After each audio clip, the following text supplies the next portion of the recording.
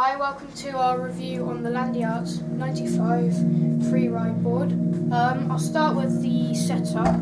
Paris 180 raw trucks with um, stock bushings and I've got Landyachtz's um, Zombie Hawgs 82As. I'll start with the wheel.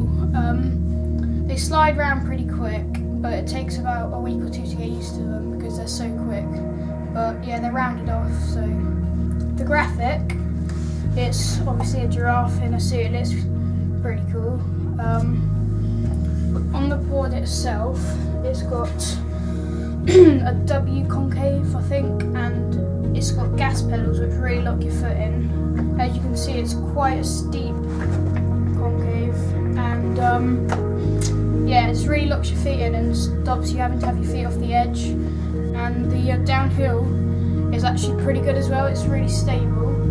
Like you can keep. You, it's got quite a nice length, which lets you in downhill stance lets you um, be pretty comfortable. It also um, is stable at high speeds, which you you don't have to think about speed wobbles. You don't have to think about falling off. But um, onto the performance and durability. It's mainly a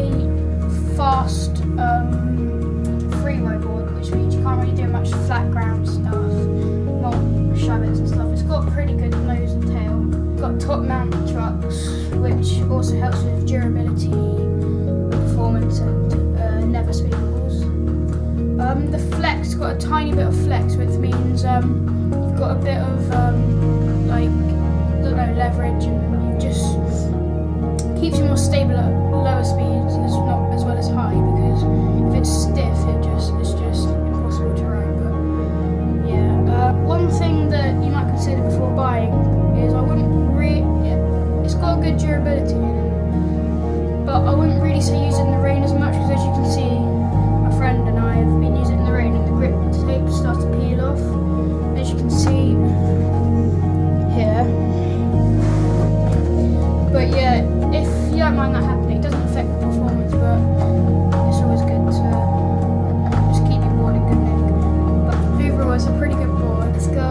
perfect length for any kind of sliding or um, downhill. It's definitely not a board to really use ground town stuff. It's good with carving, locks your feet well, and overall it's just a great board to get started